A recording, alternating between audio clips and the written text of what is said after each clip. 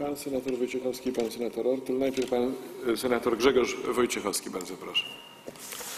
Panie Marszałku, Wysoka Izbo, e, Panie Prezesie, chodzi mi o mm, taką sytuację, która może z pozoru nie, nie mm, wyglądać, że się nie łączy, ale e, chodzi o pożyczki. Coraz częściej są oferowane pożyczki w zamian za, a nie kredyty.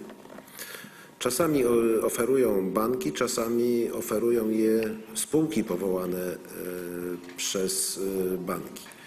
Poziom bezpieczeństwa m, pożyczek zarówno dla jednej strony, jak i dla drugiej jest e, niższy, jednak e, banki czy, czy, czy, czy te spół- spółki powołane przez bank, e, no jest, e, niewątpliwie jest to podmiot silniejszy przy jakichkolwiek e, sporach, więc tak naprawdę e, całe, całe ryzyko na tą słabszą stronę jest e, kierowane. Czy w tym zakresie e, będą jakieś przewidywane zmiany, czy, czy to w dalszym ciągu? I druga rzecz, która też dotyczy Wiele sp- spotyka się ogłoszeń, gdzie wprost głównie przedstawiciele ajenci, czy jakich by nazwać, oferują kredyty, kredyty, nie pożyczki, bez żerantów, zabezpieczeń, e, badania zdolności kredytowej i, i tak dalej. Ja Bez biku, sobie- jak to się mówi. tak, bez bipu. E, Ja e, pozwoliłem sobie zadzwonić do, do, do kilku takich oferentów i okazało się, że poinform... znaczy okazało się, poinformowano mnie, że stoją za tym e, banki i to są te banki, które e, w miastach powiatowych lub e, gminach ostatnio e, powołały wiele punktów obsługi bankowej lub filii. Duże, duże banki za tym stoją. Czy też, znaczy ocena może pana prezesa, bo tu trudno, trudno coś innego. Dziękuję bardzo. Dziękuję bardzo. Pan senator Władysław Ortul. Bardzo proszę. Dziękuję bardzo, panie marszałku, panie prezesie. Ja trochę w, pa, w pańskiej wypowiedzi taki pewien dysonans e, jak gdyby zauważyłem i chciałbym jak gdyby stwierdzić, czy on jest e, głębszy czy, czy płytszy, ale powiem o co chodzi. Powiedział pan, że mm, banki będą miały w pewnym momencie pod górę i to dotyczyło między innymi Spółdzielcze. Spółdzielczych, tak, spółdzielczych, prawda? A jednocześnie pan powiedział, że żaden bank z zagranicy, którego rządzący nie lubią albo sobie nie życzą, nie zjawi się w Polsce, prawda? W tych rządzących to też myślę, że NBP trzeba tam wstawić, bo to rządzący w sferze finansowej. Mm, e, Tak to przynajmniej odebrałem. No ale teraz jak popatrzymy na to lubienie tych e, z zewnątrz, to ci, których lubimy, E, to na przykład e, w całej korporacji Unicredit to bank PKO mm, SA kapitałowo tam no rząd wielkości powiem około 3% stanowi, a jeżeli chodzi o zysk to 30 w całej grupie około, prawda? Czy, czy to dobrze jest, że my te spółdzielcze może nie lubimy i będziemy, będą mieli pod górkę, prawda? A ten, e, że tak powiem, PKO SA w korporacji Unicredit to jest lubiany i ma oczywiście no, z górki. No, Dziękuję bardzo. E, Nim poproszę pana prezesa o odpowiedź, chciałem się zapytać, czy ktoś jeszcze z pań panów senatorów chciałby zadać pytanie? Już nie. Także panie prezesie, to są dwa ostatnie pytania. Dziękuję bardzo. No, na pewno zauważyliście Państwo wszyscy tę akcję cztery, o czterech zasadach zachowania wobec e, no, tak naprawdę lichwiarzy. E, Tutaj mamy silnych e, sprzymierzeńców, partnerów. KNF, e, Ministerstwo Finansów, UOKiK. I myślę, że Trudno będzie zmierzyć wpływ naszej, naszej akcji, ale, ale na pewno wiele osób e, zastanowi się albo przynajmniej policzy jeszcze raz, czy naprawdę są w tak tragicznej sytuacji, że, że, że muszą wziąć e, taką chwilówkę, która się potem może okazać chwilą na całe życie. Jest wystarczająco dużo instytucji bankowych, myślę, że bliskich i przyjaznych e, ludziom, e, gdzie można próbować e, utrzymać e, czy to kredyty, czy to pożyczki. Zaraz do tego wrócę.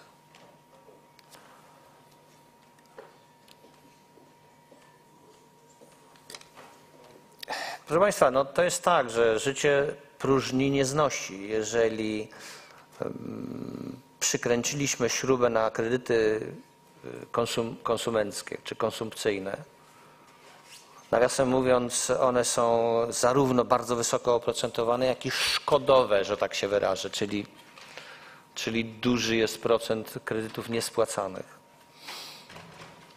no to jeżeli KNF i tak nawiasem mówiąc, jeżeli chcecie Państwo w tej sprawie dowiedzieć się z lepszego, pewniejszego źródła więcej, to, to pewno przewodniczącego Kwaśniaka trzeba tutaj poprosić, albo przewodniczącego Jakubiaka. On ma wiedzę niesłychaną. Nie ma chyba w naszym regionie takiego nadzoru jak w Polsce.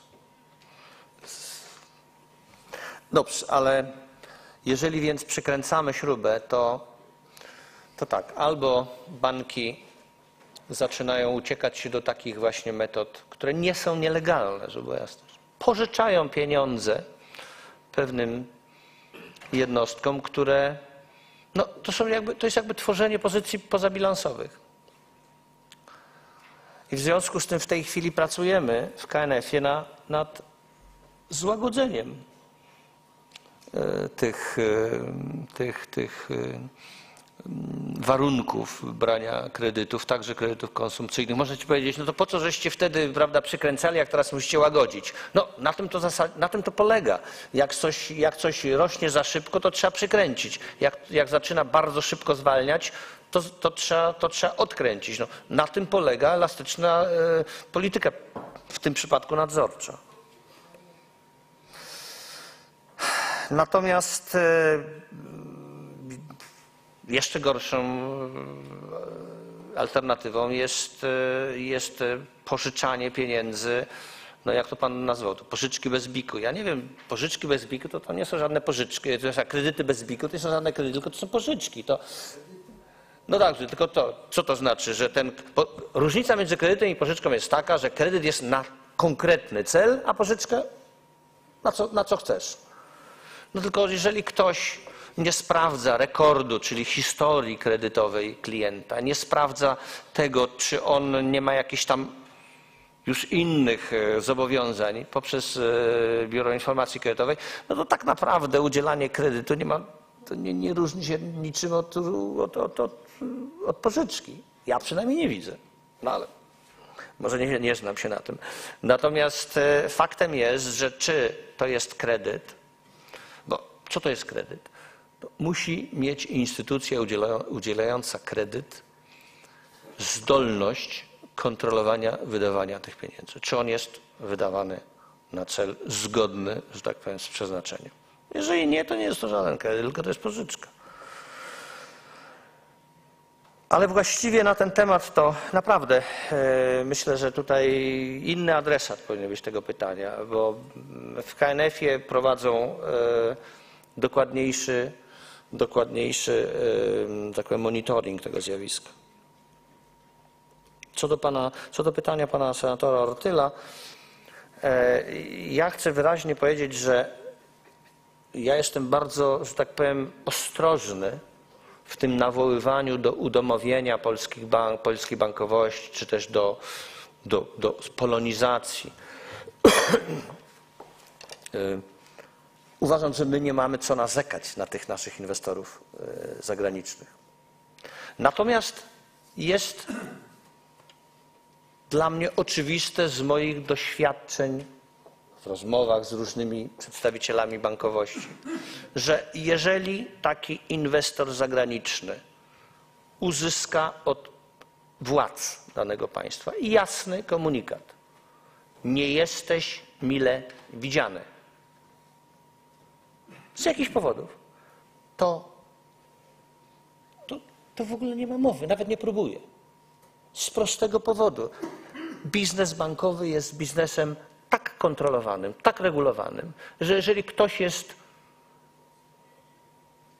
nie, nie, niemile widziany, to po prostu ten, ten regulator zrobi z niego przecież mizerię. No. Oczywiście, o ile wie, jak to robić, a my już wiemy. Kiedyś w tym kraju, w naszym kraju, dopuszczaliśmy się do prób przejęć wrogich. To już jest niemożliwe. Nie ma takiej możliwości. Po prostu jesteśmy już krajem o dojrzałym systemie regulacyjnym, o dojrzałym systemie nadzorczym. Trzeba po prostu mieć tego świadomość. Jesteśmy, państwo to jest potęga. Ale to nie znaczy, że my mamy specjalnie narzekać na naszych inwestorów zagranicznych w naszym systemie bankowym. To, co, o czym mówił pan senator, że PKO SA to jest konkretnie mówiąc 3,5% sumy bilansowej Unicredit, a ponad ćwierć zysku netto, to tylko pokazuje, jak znakomicie prowadzony jest to bank i jak znakomicie wygląda polska gospodarka na tle innych gospodarek, którym Unicredit ma swoje, swoje banki.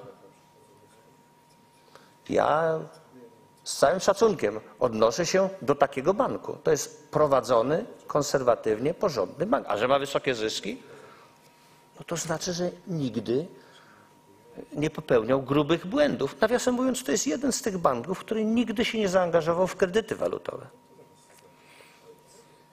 których tak nie lubimy. Dlaczego? Bo to im zawsze, na, na, z, zawsze wydawało się zbyt ryzykowne. Także akurat w tym przypadku te, to moje nawoływanie do polonizacji, a raczej mówię do udomowienia, to jest pewna strategiczna, pewien strategiczny kierunek. Natomiast nie jest to żadna nagonka na inwestorów zagranicznych. Istotą udomowienia jest to, żeby centrala banku była w Polsce. Żeby decyzje kredytowe były podejmowane w Polsce. A to, że będzie własność rozproszona, a być może własność będzie także większościowa różnych inwestorów ze świata, to ma znaczenie drugorzędne. Wszystkie banki, duże banki na świecie, z wyjątkiem banków w naszym regionie i w Meksyku, wszystkie banki mają e, akcjonariat rozproszony. I trudno powiedzieć, kto jest właścicielem. Także polonizacja w tym kontekście jest trochę archaiczna. Bo co to znaczy, że, że bank ma mieć 90, a może 65% włas, własności polskiego kapitału? Nie. Czy Deutsche Bank nie jest bankiem niemieckim? Chociaż własność tego banku jest rozproszona i dalibóg trudno powiedzieć, kto jest jego właścicielem. Ale struktura zarządcza jest taka, że decyzje podejmuje się we Frankfurcie.